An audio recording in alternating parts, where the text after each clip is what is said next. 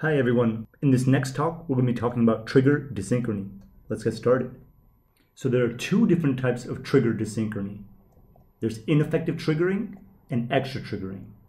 In ineffective triggering, what happens is the patient tries to initiate a breath. However, the ventilator will not deliver a breath despite the patient's effort. Extra triggering is the opposite. Here, a ventilator inappropriately delivers a breath in the absence of patient effort. So let's talk a little bit more about ineffective triggering. Here, the patient tries to initiate a breath, however, the ventilator does not recognize this and as a result doesn't deliver a breath. Now, what are the causes of ineffective triggering? The differential includes is the patient's flow or pressure trigger set too high? Remember, you, the operator, will determine what the trigger variable is, whether it's flow or pressure. And if the patient's flow or pressure surpasses the threshold that you have set, then a breath will be triggered. However, if this threshold is set too high, then the patient will not get a breath, and as a result, you'll have ineffective triggering. Is there diaphragmatic weakness? You need the diaphragm to contract in order to generate a pressure or a flow. However, if the diaphragm is too weak, you'll get ineffective triggering. Is there significant air trapping? Let's do an exercise right now. I want you to inhale 100%, then exhale 50%. Inhale 100%, exhale 50%. And continue to do this. As you can see, it's going to be more and more difficult to inspire. And if it's more difficult to inspire, it's because you have difficulty in generating a flow or pressure. This is known as air trapping or auto peeping, when the lungs have too much volume and you have not exhaled all the volume inside your lung. As a result, if you have air trapping, you'll have ineffective triggering. Here, the ventilator delivers an inappropriate breath, also known as auto triggering. So, what's the differential for extra triggering? Here, the trigger threshold may be set too low. So, as a result, you can run firing breaths, getting extra triggering. Or you can have cardiac oscillations, high cardiac output, cardiac oscillations can actually cause extra triggering. If there's any leaks from the circuit or if you have a chest tube in place, these leaks can cause extra triggering. If you have condensation in the tubing, bubbling in the circuit, the swaying of these secretions can actually cause a change in pressure or flow, resulting in extra triggering. Even peristalsis can cause extra triggering. Long story short, extra triggering is due to extra pulmonary causes. All right, tell me the story. Tell me what's going on with this patient. On what do you think is the target and the mode of ventilation? What's going on? Which phase is there dyssynchrony? Is it trigger dyssynchrony, target dyssynchrony, or cycle dyssynchrony? What's the differential and how do you fix it? Why don't you pause the video now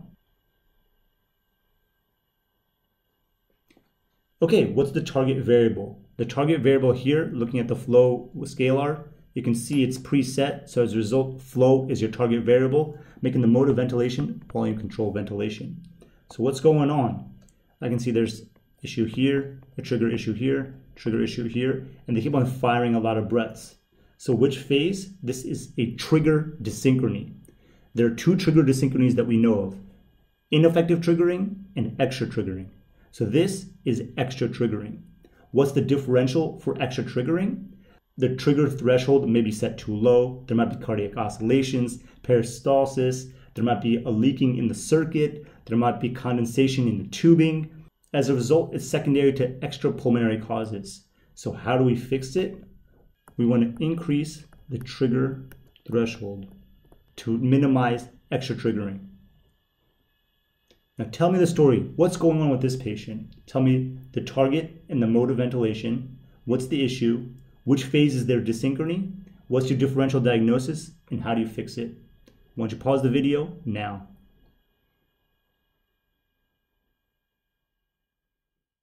All right, so what's our target variable and what's our mode? Taking a look at the flow scalar, we can see this is decelerating ramp. So as a result, we can say that the target variable is flow and our mode of ventilation is volume control ventilation.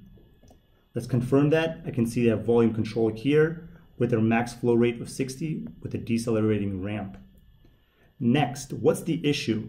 So when reading the waveforms, you want to read each scalar left to right. So take a look at the pressure scalar. You can see a breath is triggered here. Going along here, you can see there is a negative deflection in the pressure scalar.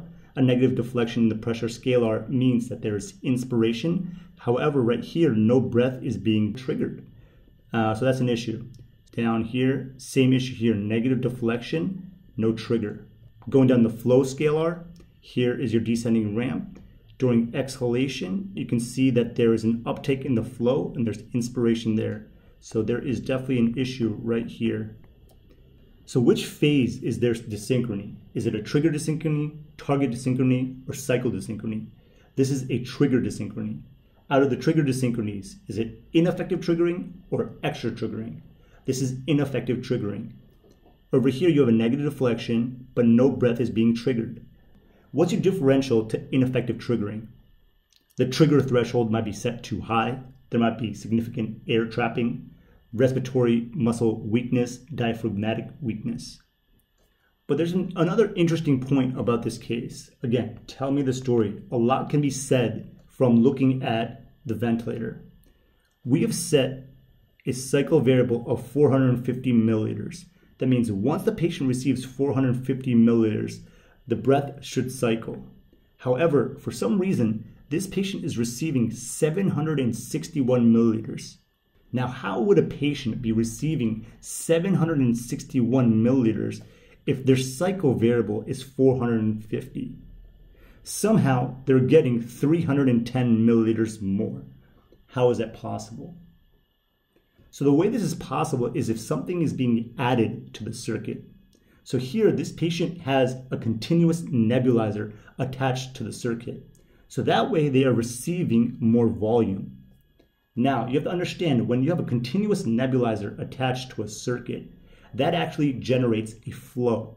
For example, that will be a flow of 5 liters per minute. In order for the patient to trigger a breath, they need to generate here a flow of 3 liters per minute. Once they hit 3 liters per minute, a breath is triggered. However, in addition to having a continuous nebulizer, they have to generate 3 liters per minute plus the flow generated by the continuous nebulizer, which might be 5 liters per minute, totaling 8 liters per minute.